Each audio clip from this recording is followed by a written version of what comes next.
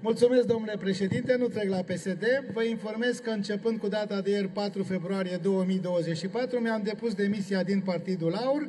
Pe cale de consecință, nu voi mai reprezenta acest grup al Partidului Aur în Camera Deputaților. Din trei motive fundamentale, nu respectă legea 14 pe 2003, legea partidelor politice, nu respectă propriul statut și refuză să înființeze filiale locale. Deci, nu mai fac parte din partidul și grupul AUR. Mulțumesc!